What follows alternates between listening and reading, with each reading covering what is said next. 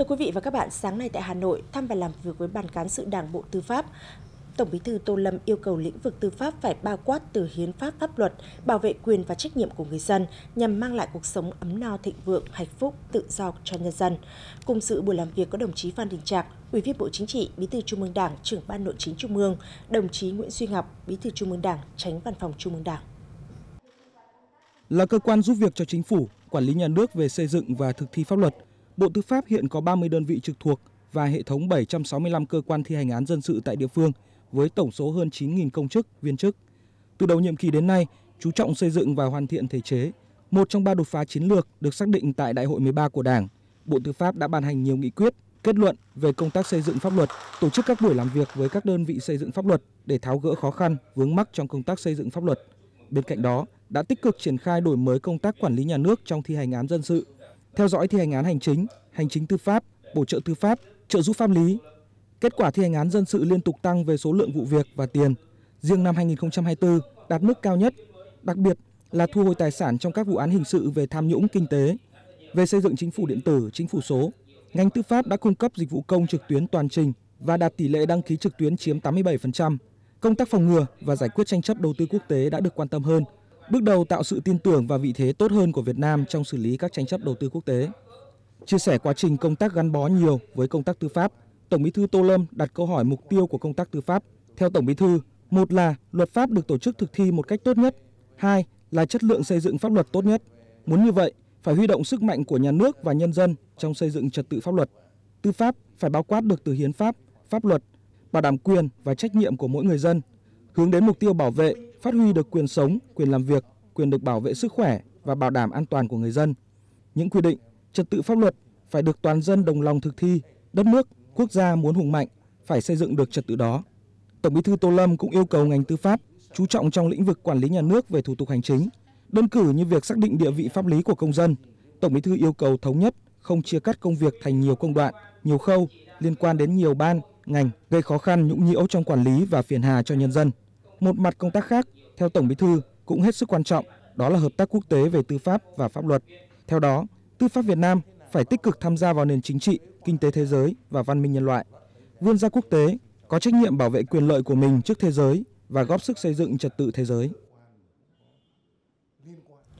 Trong khuôn khổ dự hội nghị thượng đỉnh hợp tác tiểu vùng Mekong mở rộng lần thứ 8 và công tác tại Trung Quốc, chiều ngày 6 tháng 11, Thủ tướng Chính phủ Phạm Minh Chính đã có cuộc gặp song phương với Thủ tướng Lào Sòn Say Sì Phan Đòn.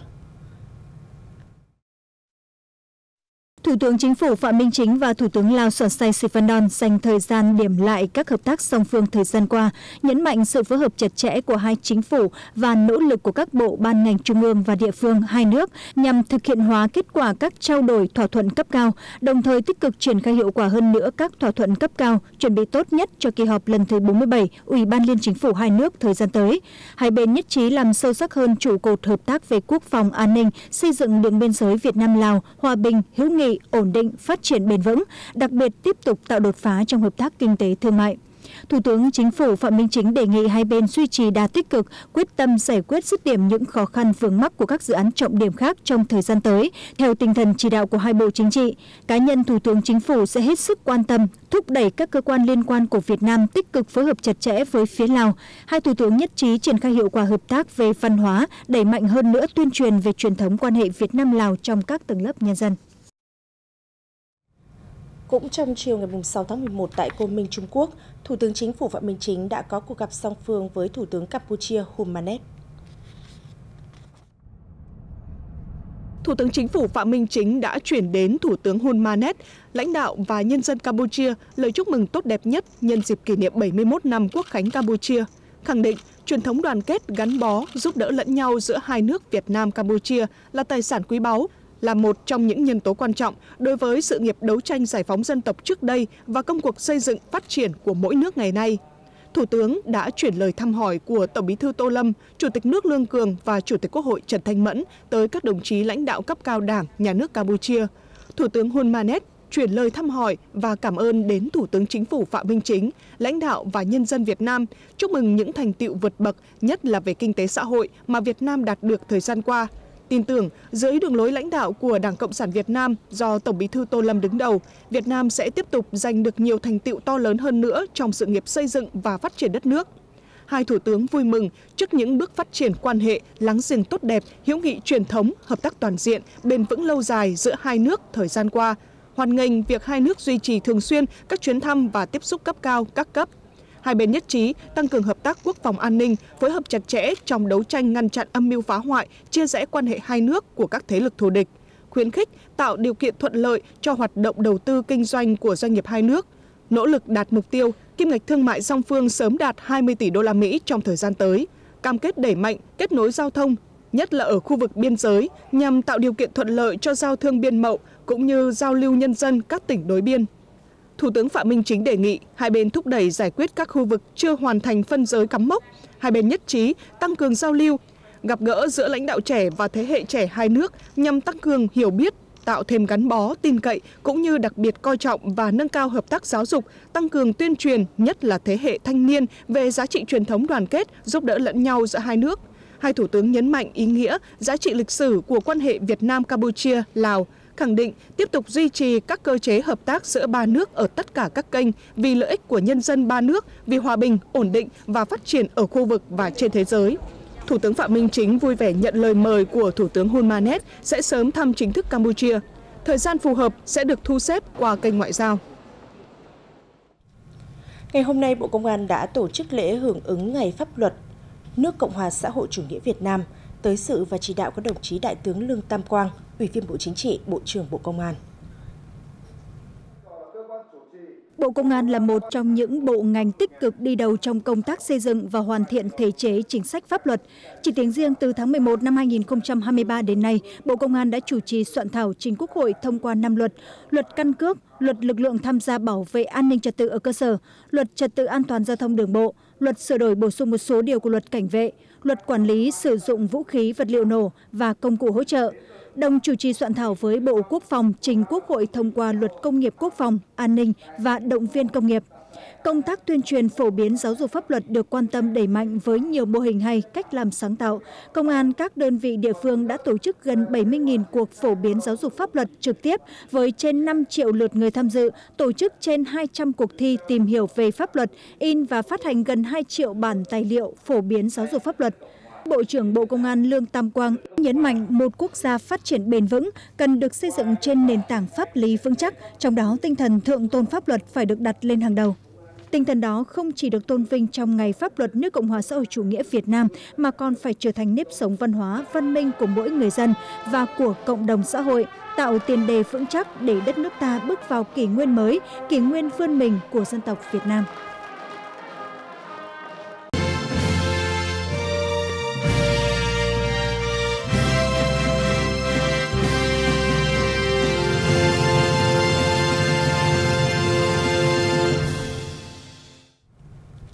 Sáng nay tiếp tục chương trình kỳ họp thứ 8, Quốc hội thảo luận ở hội trường về dự án luật sửa đổi, bổ sung một số điều của luật chứng khoán, luật kế toán, luật kiểm toán độc lập, luật ngân sách nhà nước, luật quản lý sử dụng tài sản công, luật quản lý thuế và luật dự trữ quốc gia.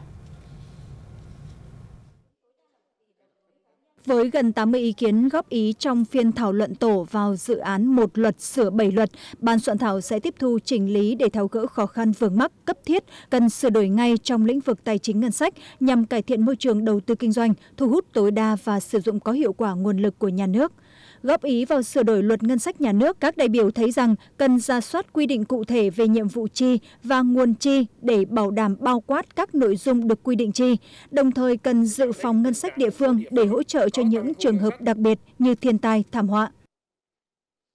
Việc sửa đổi bổ sung chưa đáp ứng đầy đủ yêu cầu thực tiễn dẫn đến một số nhiệm vụ cấp thiết khác của địa phương như là chi an ninh quốc phòng, kiến thiết thị chính, bảo vệ môi trường, phòng chống thiên tai và biến đổi khí hậu lại không thể bố trí từ nguồn này do không thuộc phạm vi quy định. Việc quy định thiếu linh hoạt như vậy sẽ dẫn đến tình trạng một số địa phương có tăng thu ngân sách nhưng không thể sử dụng nguồn tăng thu tiết kiệm chi ngân sách để bố trí chi cho các nhiệm vụ cần thiết này, làm giảm hiệu quả sử dụng ngân sách. Vì vậy, đề nghị nghiên cứu mở rộng phạm vi sử dụng nguồn tăng thu tiết kiệm chi Thực tiễn những khoản chi thường xuyên và chi đầu tư phát triển có thể phát sinh ngoài dự toán ban đầu, tuy nhiên tất cả những khoản chi ngân sách đều phải có trong hạng mục chi. Đề nghị không để tình trạng tiền trạm hậu tấu. Chính phủ, Ủy ban Nhân dân tỉnh chi trước, sau đó mới báo cáo Quốc hội, Hội đồng Nhân dân tỉnh thông qua. Ờ, đề nghị cơ quan soạn thảo đưa ra các nguyên tắc xác định các khoản chi phát sinh thường xuyên này. Theo đó, các khoản chi phải mang tính cấp thiết, cấp bách hoặc quan trọng và phải có các cái tiêu chí xác định rõ ràng. Trong dự thảo luật thì cũng chưa quy định rõ về điều kiện được sử dụng kinh phí chi thường xuyên cho nhiệm vụ mang tính chất đầu tư và có giới hạn về tổng mức vốn tối đa cho nhiệm vụ chi hay không và các trường hợp sử dụng vốn chi thường xuyên trong cái việc ờ, có thể dẫn tới trồng chéo trong bố trí nguồn lực cũng như là khó kiểm soát trong việc đề nghị, nên là chúng tôi đề nghị là cần quy định rõ quy mô, giới hạn mức vốn tối đa được sử dụng nguồn chi thường xuyên để có thể đảm bảo không tác động ờ, lớn đến ờ, cơ cấu ngân sách. Các chủ trương về phân cấp, phân quyền, nhiệm vụ từ chính quyền cấp trên xuống cấp dưới cần bảo đảm nguồn lực về thực hiện cũng là nội dung được nhiều đại biểu đưa ra thảo luận để hoàn thiện hơn dự luật. Thưa quý vị, chủ trương liên doanh, liên kết trong y tế là một chủ trương đúng đắn giúp trang bị được trang thiết bị hiện đại, phục vụ khám và chữa bệnh cho người bệnh. Tuy nhiên, vì vướng mắc trong quản lý tài sản công nên hầu hết các cơ sở y tế lớn khó triển khai đề án liên danh và liên kết. Đây là nội dung được các đại biểu nêu ý kiến vào luật quản lý sử dụng tài sản công. Luật sử dụng tài sản công chưa quy định tài sản là quyền sử dụng đất để liên doanh liên kết. Thực tế, hiện ngân sách nhà nước còn thiếu, bệnh viện công lập mong muốn được liên doanh liên kết với các đơn vị tổ chức xây mới cơ sở hạ tầng và đầu tư trang thiết bị y tế trên khuôn viên bệnh viện thì quyền sử dụng đất cũng cần thiết được pháp luật quy định trong trường hợp này nhằm tăng cường nguồn lực đầu tư cho y tế. Ngoài ra, đối với tài sản là thương hiệu của đơn vị sự nghiệp công lập, việc xác định giá trị thương hiệu để góp vốn liên doanh liên kết được thực hiện theo tiêu chuẩn thẩm định giá Việt Nam, pháp luật sở hữu trí tuệ cũng cần được xem xét lại cho phù hợp với thực tế. Trên thực tế, việc này là rất khó thực hiện vì giá trị thương hiệu thực hiện theo tiêu chuẩn thẩm định giá Việt Nam rồi theo pháp luật sở hữu trí tuệ và các pháp luật có liên quan rất khó thực thi vì giá trị thương hiệu là sẽ rất khác so với các phương pháp tính khác và lại quy định theo pháp luật có liên quan thì cũng không biết pháp luật nào. Như vậy trường hợp phương pháp xác định giá trị thương hiệu khác sẽ căn cứ vào giá trị nào để đưa vào liên doanh liên kết, từ đó dẫn đến không minh bạch trong việc xác định giá trị thương hiệu và đây là một vấn đề rất khó khăn gần như không có thể nào thực hiện trên thực tế. Do đó tôi xin đề nghị là luật cần quy định cụ thể trường hợp nào được xác định thẩm định theo tiêu chuẩn thẩm định giá Việt Nam, trường hợp nào được sử dụng xác định theo pháp luật về sở hữu trí tuệ và không nên quy định nhiều hình thức và chung chung như hiện nay thì các cơ sở không thể nào áp dụng được. Đại biểu Trần Khánh Thu cho rằng cần thao gỡ nhanh những vướng mắc phê duyệt đề án liên doanh liên kết, nhất là đối với ngành y tế để tránh kéo dài thời gian thực hiện. Hiện nay thì đối với ngành y tế và ngành giáo dục thì chúng tôi có một số hoạt động liên danh liên kết các trang thiết bị. Mà nếu mỗi hoạt động liên danh liên kết trang thiết bị và lập một đề án để trình hội đồng nhân dân tỉnh phê duyệt thì tôi nghĩ rằng là cái thời gian kéo dài và sẽ gây ảnh hưởng đến chính các đơn vị sự nghiệp công lập. Một là giao cho uh, giữ nguyên như cũ để giao cho chủ tịch ban dân tỉnh hoặc là thậm chí là đối với các đơn vị sự nghiệp mà tự chủ ở nhóm 1, nhóm 2 có thể giao cho chính thủ trưởng cơ quan đơn vị tự phê duyệt và tự chịu trách nhiệm trong vấn đề khai thác cũng như là chịu trách nhiệm trong vấn đề thực hiện sửa đổi bổ sung vào dự án một luật sửa bảy luật sau khi thông qua sẽ góp phần hoàn thiện đồng bộ thể chế kinh tế tháo gỡ kịp thời những khó khăn vướng mắc nhằm thu hút tối đa nguồn vốn ngân sách nhà nước tạo động lực phát triển nhanh và bền vững của nền kinh tế cải thiện môi trường đầu tư kinh doanh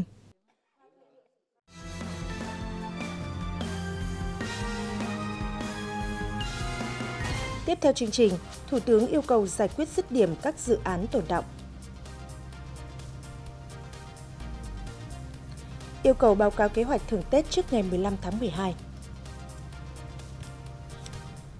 Thưa quý vị, sáng nay tại Hà Nội, Trung ương Hội hỗ trợ khắc phục hậu quả bom mìn Việt Nam lòng trọng tổ chức lễ kỷ niệm 10 năm ngày thành lập. Hội ngày 11 tháng 11 năm 2014, ngày 11 tháng 11 năm 2024, đến sự lễ kỷ niệm có nguyên Chủ tịch nước Trương Tấn Sang.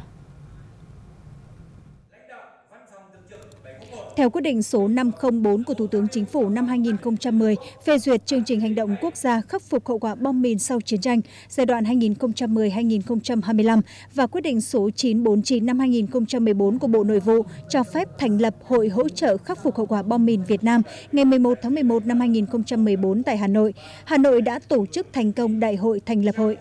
Trải qua 10 năm xây dựng và hoạt động, hội đã kiện toàn phát triển mạnh mẽ về tổ chức với 3 hội cấp tỉnh, thành phố và 17 tri hội cơ sở cùng với hơn 1.500 thành viên. Trong 10 năm qua, hội đã tổ chức 35 đợt hoạt động tập trung lớn để tuyên truyền và hỗ trợ sinh kế trên địa bàn 28 lượt tỉnh, thành phố trọng điểm bom mìn sót lại sau chiến tranh, với tổng số người đã được hỗ trợ sinh kế là 6.000 người. Những cống hiến và đóng góp quan trọng không mệt mỏi trong hành trình 10 năm qua của hội đã góp phần quan trọng vào chương trình quốc gia khắc phục hậu quả bom mìn sau chiến tranh vì cuộc sống bình yên và phát triển của đất nước. Hội đã được Thủ tướng Chính phủ tặng bằng khen về thành tích hoạt động giai đoạn 2014-2022 và Bộ trưởng Bộ Quốc phòng tặng bằng khen về thành tích hoạt động 10 năm của hội. Thủ tướng Chính phủ Phạm Minh Chính vừa ký ban hành công điện số 112 ngày 6 tháng 11 yêu cầu các bộ ngành địa phương tập trung giải quyết dứt điểm các dự án tồn động, dừng thi công, khẩn trương triển khai hoàn thành, đưa vào sử dụng chống lãng phí, thất thoát. Công điện của Thủ tướng yêu cầu các đơn vị có liên quan kịp thời tháo gỡ khó khăn, không để tồn động, dừng thi công kéo dài như dự án đầu tư xây dựng bệnh viện ung biếu thành phố Cần Thơ, dự án cơ sở 2 bệnh viện Bạch Mai và bệnh viện Việt Đức, dự án chống ngập úng khu vực thành phố Hồ Chí Minh, trung tâm điều hành và sau dịch Vistem và các dự án khác. Bộ trưởng, thủ trưởng các cơ quan ngang bộ, cơ quan thuộc chính phủ, chủ tịch ủy ban nhân dân các tỉnh thành phố trực thuộc trung ương chỉ đạo triển khai ngay, ra soát, thống kê toàn bộ dự án công trình tồn động, dừng thi công, trụ sở, công sở không sử dụng hoặc sử dụng chưa hiệu quả thuộc phạm vi địa bàn quản lý, khẩn trương xây dựng kế hoạch biện pháp xử lý các dự án công trình tồn động, dừng thi công, thi công chậm tiến độ, sử dụng hiệu quả công trình trụ sở, công sở, báo cáo Thủ tướng Chính phủ trước ngày 30 tháng 11 năm 2024. Đối với những nội dung vượt thẩm quyền, khẩn trương ra soát báo cáo rõ nội dung quy định vướng mắc, đề xuất các giải pháp xử lý, cơ quan có trách nhiệm giải quyết và cấp có thẩm quyền quyết định, báo cáo Thủ tướng Chính phủ xem xét chỉ đạo xử lý kịp thời trước ngày 30 tháng 11 năm 2024 xử lý trách nhiệm cá nhân, tổ chức để các dự án công trình chậm tiến độ kéo dài, kiên quyết thay thế hoặc điều chuyển sang việc khác đối với các cán bộ công chức năng lực yếu, không dám làm, né tránh, đùn đẩy, làm việc cầm chừng, sợ trách nhiệm, chậm trễ và không đáp ứng yêu cầu công việc được giao trong giải quyết các vấn đề liên quan đến các dự án công trình chậm tiến độ, kéo dài, lãng phí nguồn lực. Cục Quản lý Giám sát Bảo hiểm Bộ Tài chính cho biết, tính đến ngày 31 tháng 10, các doanh nghiệp bảo hiểm đã tạm ứng bồi thường hơn 434 tỷ đồng cho các khách hàng bị thiệt hại bởi cơn bão số 3. Các đơn vị bảo hiểm đã ghi nhận 103 trường hợp tử vong và thương tật của khách hàng. Tổng số tiền ước tính phải chi trả quyền lợi bảo hiểm là khoảng 21,25 tỷ đồng. Đối với bảo hiểm phi nhân thọ, các doanh nghiệp bảo hiểm đã tiếp nhận khoảng hơn 14.700 thông tin thiệt hại về bảo hiểm sức khỏe, bảo hiểm tài sản kỹ thuật, bảo hiểm xe cơ giới và các nghiệp vụ khác, bao gồm bảo hiểm thân tàu, bảo hiểm nông nghiệp. Hiện tổng số tiền các doanh nghiệp bảo hiểm phi nhân thọ đã tạm ứng bồi thường là hơn 416 tỷ đồng. Đến nay, Cục Quản lý Giám sát Bảo hiểm Bộ Tài chính chưa ghi nhận được phản ánh nào của khách hàng về việc bồi thường chậm hoặc từ chối bồi thường khi có đầy đủ hồ sơ tài liệu theo quy định tại hợp đồng bảo hiểm. Thưa quý vị, đêm qua Trung tướng Phạm Trường Sơn, Phó Tổng tham mưu trưởng Quân đội Nhân dân Việt Nam cho biết đã đưa được Đại tá Nguyễn Văn Sơn, Trung đoàn trưởng Trung đoàn Không quân 940 và Thượng tá Nguyễn Hồng Quân, chủ nhiệm bay Trung đoàn Không quân 940 về an toàn. Hiện nay, lãnh đạo Bộ Quốc phòng đang tập trung tổ chức tìm kiếm máy bay rơi, sau đó sẽ giải mã hộp đen để tìm nguyên nhân máy bay gặp sự cố. Thông tin thêm về tình hình sức khỏe của hai phi công, lãnh đạo Bộ Quốc phòng cho biết các đồng chí mạnh khỏe và an toàn. Tuy nhiên, trong quá trình nhảy dù cũng ít nhiều tác động đến sức khỏe của các phi công. Hai phi công sẽ được chăm sóc sức khỏe tại bệnh viện Y quân tại bệnh viện Quân y 13 điều trị cho đến khi hồi phục. Bộ Lao động Thương binh và Xã hội vừa có công văn đề nghị lãnh đạo Sở Lao động Thương binh và Xã hội các tỉnh thành phố chủ động nắm bắt tình hình tiền lương tiền thưởng cho người lao động, nhất là trong dịp Tết Dương lịch và Tết Nguyên đán Ất Tỵ 2025.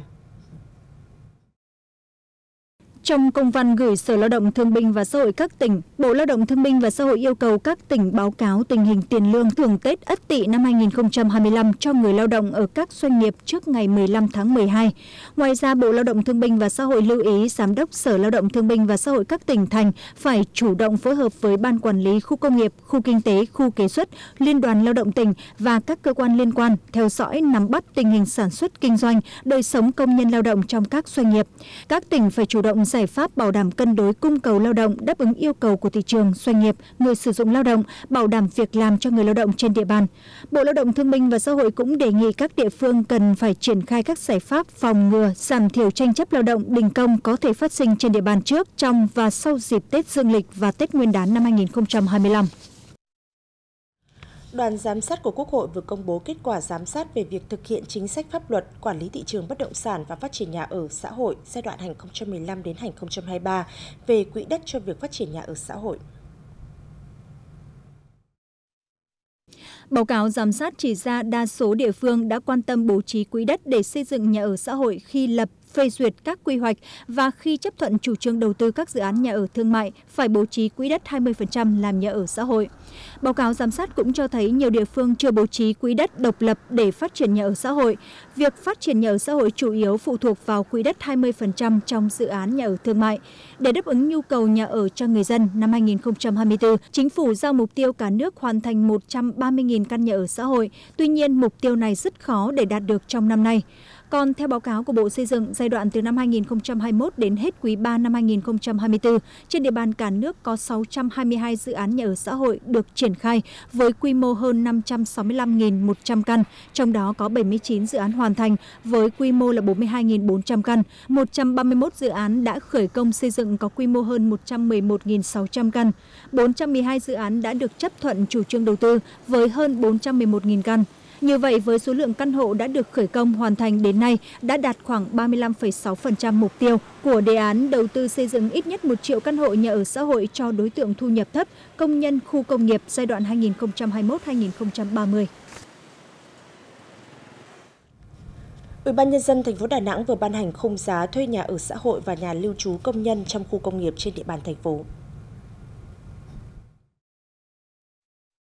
Công bố của Ủy ban Nhân dân thành phố Đà Nẵng cho biết, đối với nhà ở xã hội được đầu tư xây dựng không bằng vốn đầu tư công, nguồn tài chính công đoàn sẽ tùy theo loại nhà, giao động từ 59.000 đồng một mét vuông một tháng đến 165.000 đồng một mét vuông một tháng. Đối với khung giá cho thuê nhà ở xã hội do cá nhân tự đầu tư xây dựng, thành phố Đà Nẵng quy định khung giá cho thuê giao động từ 39.000 đồng một mét vuông một tháng đến 75.000 đồng một mét vuông một tháng, tùy vào nhà ở có số tầng diện tích Đối với khung giá thuê nhà lưu trú công nhân trong khu công nghiệp, khung giá cho thuê thấp nhất là chung cư dưới 5 tầng, không có tầng hầm, với giá cho thuê tối đa là 84.000 đồng một mét vuông một tháng, tối thiểu là 54.000 đồng một mét vuông một tháng. Ủy ban nhân dân thành phố cũng yêu cầu Sở Xây dựng khi có sự thay đổi về quy định của pháp luật, điều kiện kinh tế xã hội hoặc khung giá cho thuê nhà ở xã hội và nhà lưu trú công nhân trong khu công nghiệp tăng giảm từ 10% trở lên so với khung giá ban hành, thực hiện ra soát tham mưu Ủy ban nhân dân thành phố điều chỉnh khung cho phù hợp.